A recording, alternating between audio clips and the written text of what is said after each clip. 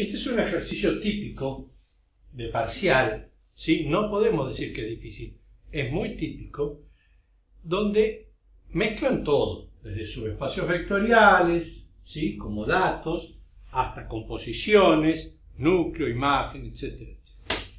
Y la primera mezcla que hacen acá, y yo la voy a cambiar, es utilizar para la transformación una letra y para un conjunto, para un subespacio otra letra. Como si nuestro alfabeto no tuviese letras suficientes, yo voy a cambiar esto por una W. Sino, esto además de un problema, va a ser un trabalenguas. ¿Sí? T es una transformación de R3 en R3 tal que su núcleo coincida con este subespacio vectorial, que obviamente es un subespacio vectorial de R3, el conjunto de partida. Y que el núcleo de la composición de esta transformación con sí misma, la transformación es lo que tengo que hallar, coincida o sea igual a este subespacio vectorial W. De estos dos voy a tener que buscar con paciencia los generadores, porque voy a trabajar con eso. Otra cosa, si a mí me piden definir una transformación o hallar una transformación, es casi seguro que voy a necesitar recurrir al santo teorema fundamental de las transformaciones lineales. ¿Sí? Por eso es fundamental. Lo de santo lo agregué yo. Pero voy a necesitar tener los transformados de una base de R3, perdón, de R3, para que, teniendo esos transformados, saber que esa transformación existe y que es única. Ojo, no quiere decir que, el problema tenga una única solución, una única transformación que sea solución. Puede haber infinitas, pero si yo tengo definidos los transformados de una base, para esos transformados la solución va a ser única. La transformación va a ser única. Eso decía el teorema fundamental de las transformaciones lineales. Bueno, vamos a ir con paciencia resolviendo esto. Primero voy a buscar los generadores de S y de W. Porque después, para transformar, voy a necesitar esos vectores. ¿sí? Para definir la transformación. Bueno, fíjense lo que voy a hacer con S, que lo hemos hecho en ejercicios de subespacios. Yo tengo dos ecuaciones, x1 menos x2 menos x3 igual a 0. Y x1 más x3 igual a 0. Podría triangularlo, pero esto está más fácil. Voy a definir que, voy a despejar y decir que x3 es igual a menos x1. Y de acá me va a quedar que x2, si lo despejo, es x1 menos x3. O sea, x1 menos menos x1. 2x1. Como yo tengo x2 en función de x1 y x3 en función de x1, en un genérico, x1, x2, x3, reemplazo. x1 mantiene su identidad, x2 es 2x1 y x3 es menos x1. Saco x1 como un escalar, me queda 1, 2, menos 1, y ahí tengo el generador de S. Yo puedo decir que S está generado por 1, 2, menos 1. O sea que S, el subespacio S es una recta. ¿Sí? que pasa obviamente por el origen como cualquier subespacio vectorial. Y está bien eso porque esto es un plano y otro plano, la intersección de dos planos, podría ser un solo plano, pero con dos ecuaciones lo más probable es que, que me dé una recta, y de hecho me dio. O sea que voy bien. Vamos ahora con el subespacio W, a hacer exactamente lo mismo.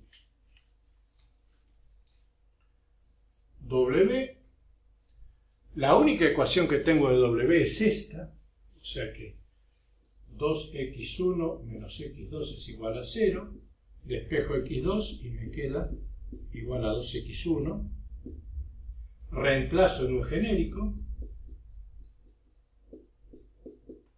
x1 es x1, x2 es 2x1 y x3 es x3. descompongo las x1 con las x1,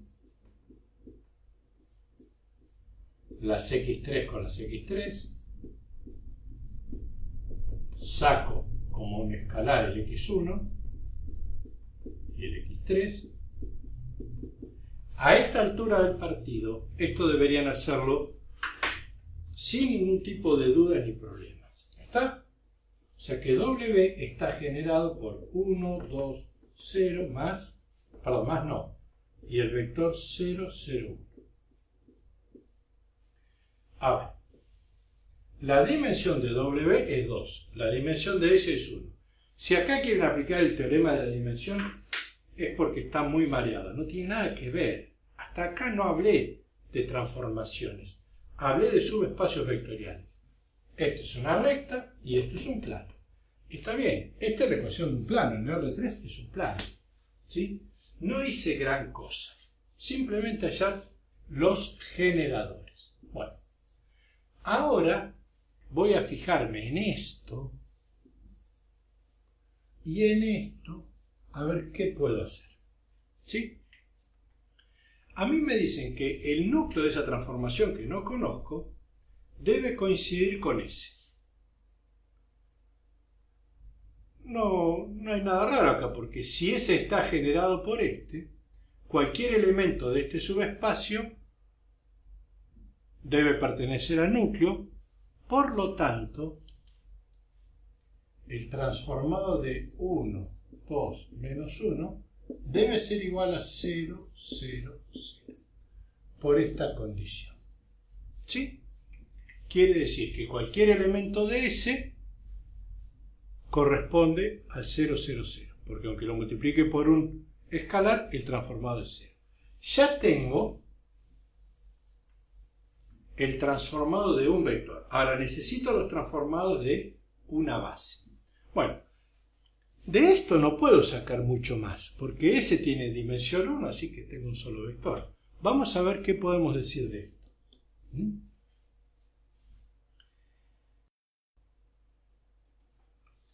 Ahora tengo que empezar a mirar con cuidado estos vectores. ¿sí?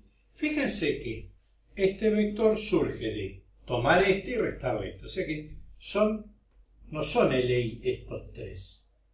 Así que yo voy a ver ahora cómo puedo buscar los transformados de otros dos que armen una base, pero que no van a ser estos dos. Voy a tomar este y voy a decir algo que me lleve acá. Por ejemplo, yo podría decir que el transformado de 0, 0, 1 es, si yo quiero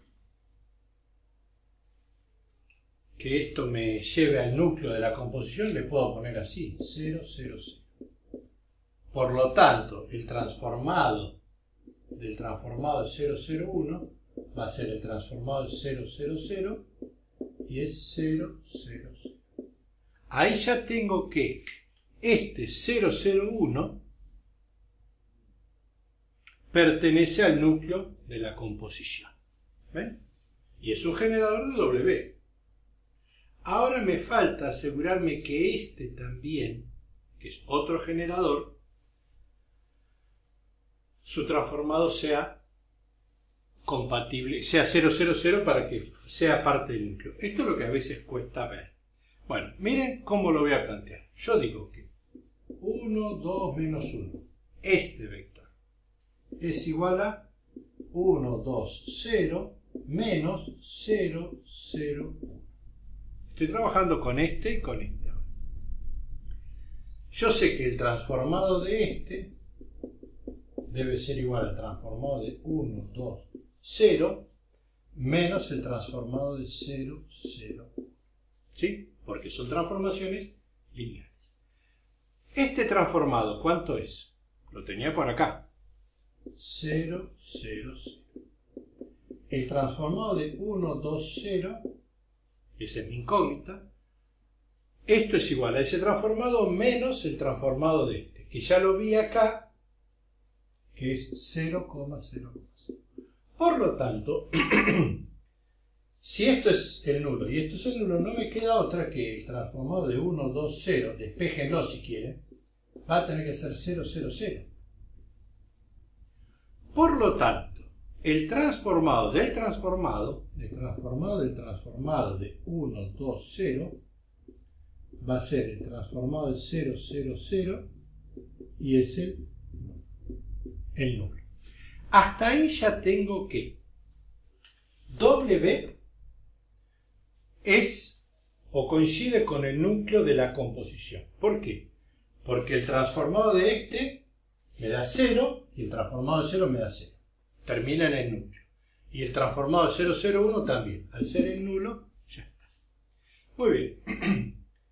Eso con este y con este. Ya demostré estas dos. Tengo esto y esto. Pero me falta todavía un tercer vector. ¿Sí? Hasta acá vengo contento. Porque tengo dos transformados. Me está faltando uno que haga base con estos dos. Bueno, miren. Voy a buscar el 1, 1, 0, 0 y digo, mi base va a ser el 1, 0, 0. A ver si lo pongo en ese orden. El 1, 2 menos 1, 1, 2 menos 1 y el 0, 0, 1, 0, 0, 1. Esto es una base. Son LI y son 3. Tengo los transformados de este y de este. Me falta el transformado de 1, 0, 1. Y este lo elijo arbitrariamente. A mí se me ocurre que puede ser el 0, 1, 0. Pero, perdón, 0, 1, 1, 0, 0. De este primero. Yo voy a elegir este. ¿Sí? Porque se me ocurrió que era el más cómodo, el más lindo, el más adecuado. Pero podría haber sido el 1, 0, 0 o cualquier otro vector que a mí se me ocurra. ¿Mm? Por eso hay infinitas soluciones para el ejercicio. Pero ahora que tengo los transformados de una base, hay una única transformación que cumple con esto, con esto y con esto. Y que además va a cumplir con esto. Se trata de hallar eso. ¿Sí?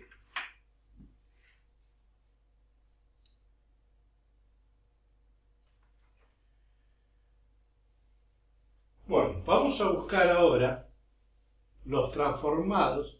Tengo de la base canónica. Este es el primero de la canónica. Este es el tercero. Necesitaría yo el segundo. Este vector 0, 1, 0. Si yo tuviera el transformado de ese, ya está. ¿Mm? Esa es mi incógnita. Una vez que tengo eso, tengo la matriz. Bueno, vamos a hacer eso. Yo voy a plantear que 0, 1, 0 es, y voy a usar esto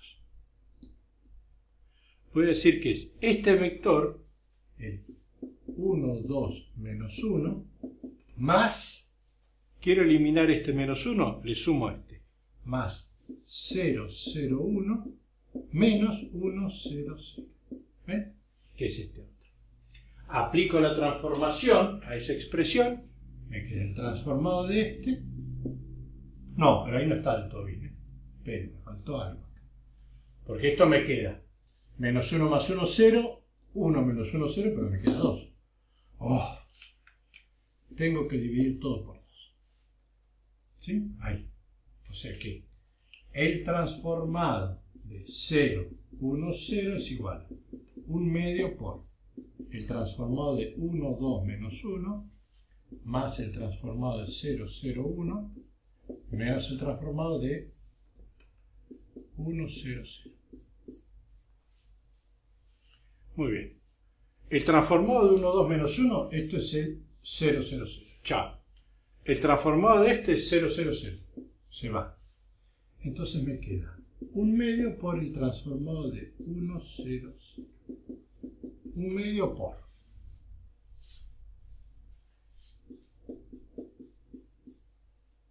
Con un signo menos. Vamos a ponerle el menos o sea que me queda 0 menos 1 medio 0. Muy bien. Ahora que tengo los transformados de la base canónica, busco la matriz de la transformación. ¿Sí? ¿Qué es? La matriz de la transformación es el transformado del 1, 0, 0, el transformado de 0, 1, 0, el transformado de 0, 0, 1, puestos en columnas. A ver, el transformado del 1, 0, 0 es 0, 1, 0. Este. El de 0, 1, 0, lo tenía por acá. 0 menos 1 medio y 0. El de 0, 0, 1 es 0 acá, 0 acá y 0 acá. Ya tengo la matriz de la transformación. Si esto lo multiplico por x1, x2, x3, me queda que la transformación de x es esta fila por esta columna, 0, esta fila por esta columna, un x1 menos x2 sobre 2, o sea, x1 menos x2 dividido 2, y esta fila por esta columna, 0.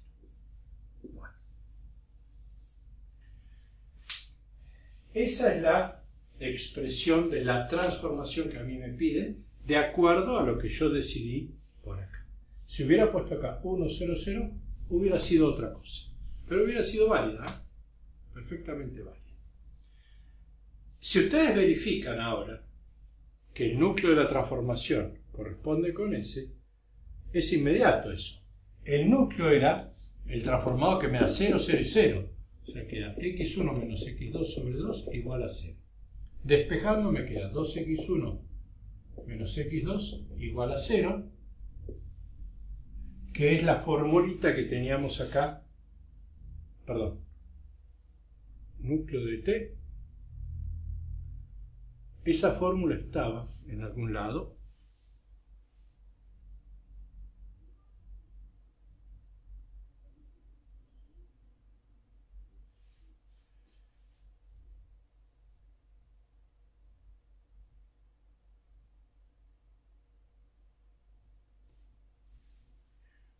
si, lo buscamos acá, esto surge de plantear que en algún lado estaba esa ecuación. 2x1, 2x1 igual a x2. ¿Ven? Despejado. O sea, esto coincide con esta ecuación. ¿Mm? ¿Está? O sea, esa ecuación cumple con esta y con esta. x1 igual a x3 también, 0 igual a 0. Bueno, si ustedes verifican para la composición van a ver que también se cumple esto otro. Eso se lo dejo a ustedes. Si quieren, prueben de asignar acá 1, 0, 0 y van a ver que van a encontrar otra matriz levemente diferente y que también debe cumplir con todo eso. Bueno, hasta la próxima.